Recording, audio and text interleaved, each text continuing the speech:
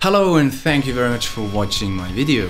If you like my content, uh, I do cover videos but also original music videos, then please consider subscribing to my channel uh, right here and maybe even hit the notification bell, then you will always be up to date when it comes to my videos.